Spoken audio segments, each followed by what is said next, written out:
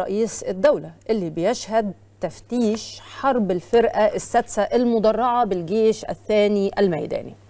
وطبعا أثناء حضوره آه النهاردة بصفته القائد الأعلى للقوات المسلحة كان في تفتيش حرب الفرقة السادسة المدرعة بالجيش الثاني الميداني في محافظة الإسماعيلية. وبناء عليها طبعا كان في مشاهد زي اللي حضراتكم شايفينها قدامنا دي. آه كان في كلمة اتقالت أيضا. كان في حديث عن الأوضاع الراهنة حوالين مصر. طبعا إحنا شايفين التوترات الجيوسياسية اللي بتحاصرنا بتحاصرنا من كل مكان سواء في الشمال الجنوب الشرق الغرب. كل المنطقة أصبحت في حالة توتر شديد جدا جدا. فكان طبعا لابد من كلمة تكون الكلمة تروح لمساحة ما يحدث حولنا. وكانت القضية الفلسطينية هي اللي ليها النصيب الأكبر من الكلمة دي. فمثلا من الخطاب اللي اتقال إن القضية الفلسطينية موجودة في وجدان كل الناس والدولة الفلسطينية بجانب الدولة الصهيونية ودي أنا عشان هو قال الإسرائيلية هدفهم واحد وهو حماية المواطن الفلسطيني وحماية المواطن الإسرائيلي. القضية الفلسطينية قضية محورية في وجدان كل الناس.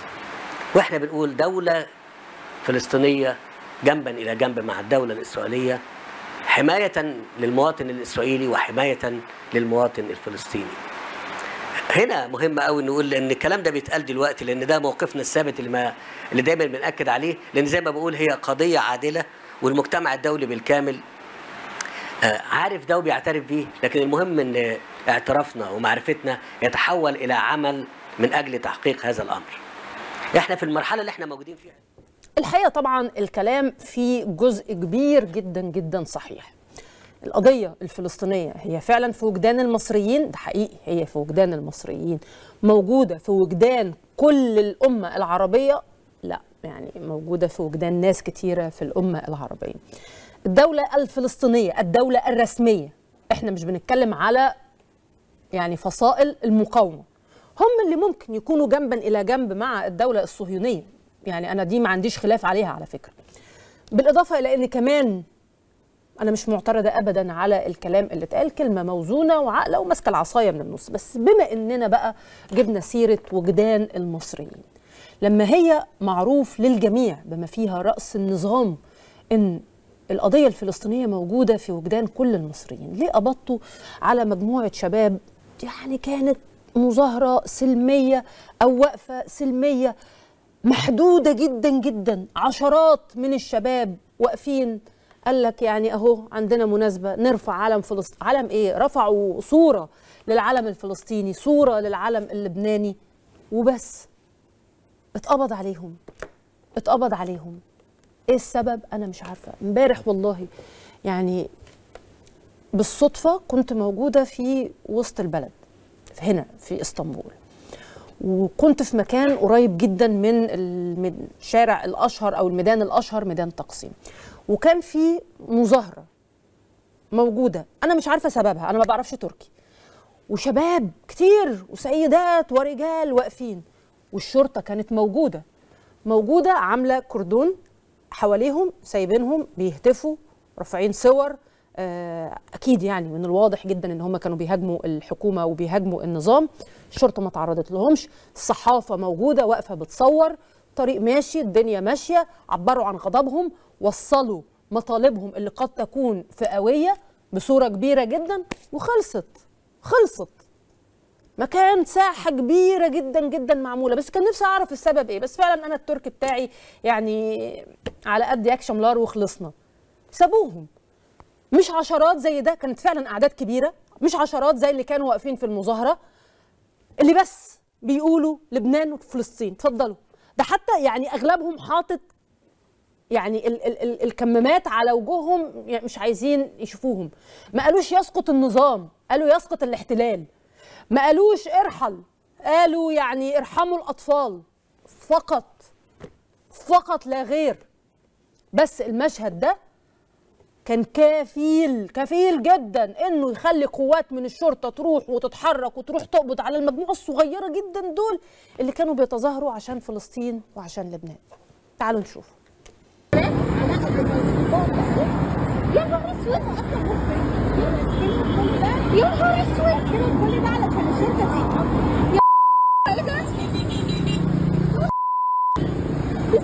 يا إيه ده؟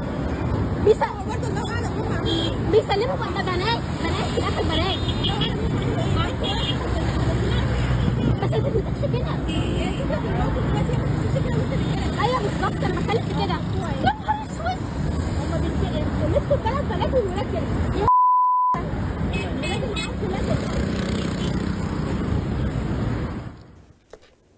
ده طبعا اللي صور المشهد واضح إن هي عربية فيها مجموعة من الفتيات الناحية الثانية واقفين بيصوروا المظاهرة برضو بالموبايل حاجة شكلها حلو كده. فجأة لقوا عربية الشرطة انهاروا الحقي بياخدوا بنات. لا إحنا بناخد بنات من زمان قوي.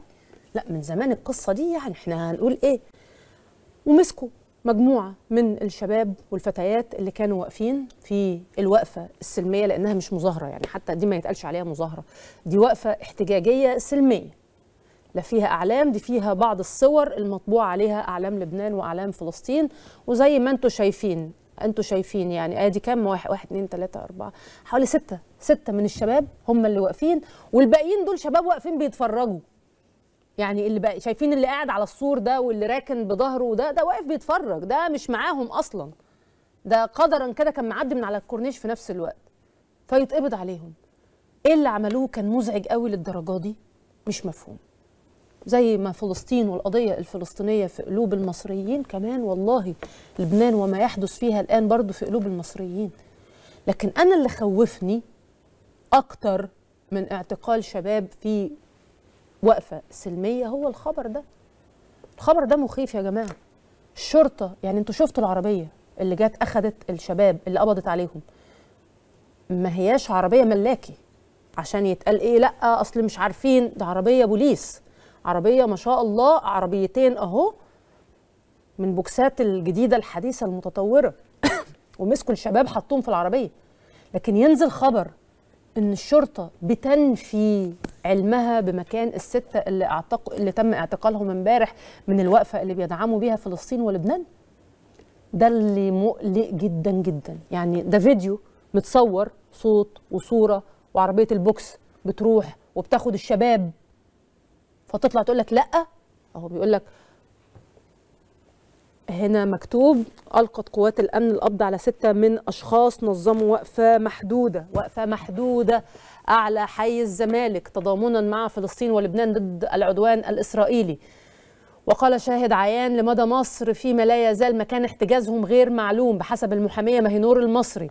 وأوضحت المصري اليو الم... وأوضحت ماهينور لمدى مصر إن المحامين الراغبين في حضور التحقيقات مع المقبوض عليهم سألوا عنهم في أسامي الشرطة القريبة من موقع الوقفة بما فيها نقطة شرطة الزمالك واسم قصر النيل غير إن جميع أقسام الشرطة اللي سألوا فيها نفت معرفتها بمكان وجودهم.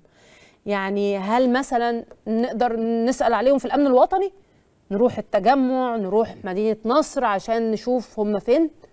أظن لا زغلي قفل، أظن معرفش يعني أظن معقولة تاخدوا من على الكوبري للأمن الوطني على طول؟ طب البوكس ده بيبقى مش بمعرفة الاسم اسم الشرطة هو اللي بيبعت ولا إيه؟ يعني ال ال الخطوات ماشية إزاي؟ الإجراءات بتمشي إزاي؟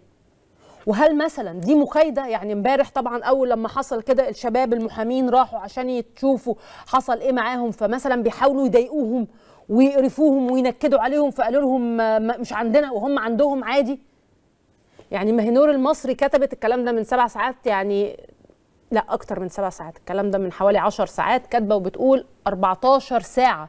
والشباب اللي يعني دلوقتي 24 ساعة. دلوقتي فات يوم كامل يعني. آه يعني هي اتخذت امبارح على الهوا مع عماد دلوقتي كده خلاص نقدر نقول 24 ساعة.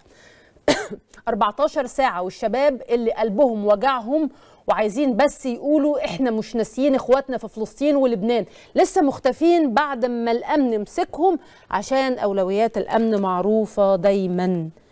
والله أنا حزينة إن الناس خلاص بقى ده الانطباع بتاعها عن الأمن وعن منظومة الأمن في مصر. عارفين هم مين أولوياتهم عارفين هم عايزين إيه عارفين مش عارف إيه.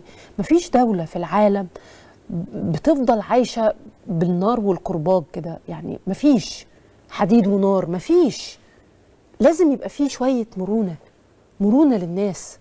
الوقفة دي ما كانتش هتضر النظام في حاجة خالص بس كنت هتلاقي بقى إيه التهليل والصحف ووقفة احتجاجية. ولا مجرد وقفة مجرد وقفة سلمية لا بلاش منها ونمسكهم ونأدبهم ونعرفهم ما تعملوهاش تاني. لا يشجعوا واحد مثلا يقرر إنه يقف عشان الأسعار أو عشان الغلا أو عشان فواتير الكهرباء أو عشان رفع الدعم أو عشان قضايا من اللي تهمهم بجد.